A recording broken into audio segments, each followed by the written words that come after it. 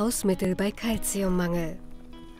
Calcium ist für den menschlichen Organismus unverzichtbar, denn es sorgt unter anderem für stabile Knochen und Zähne. Da der Mineralstoff nicht vom Körper gebildet wird, muss er mit der Nahrung aufgenommen werden. Reich an Calcium sind vor allem Kuhmilch, Joghurt und Käsesorten wie Emmentaler oder Parmesan. Auch viele pflanzliche Lebensmittel sind wichtige Calciumlieferanten.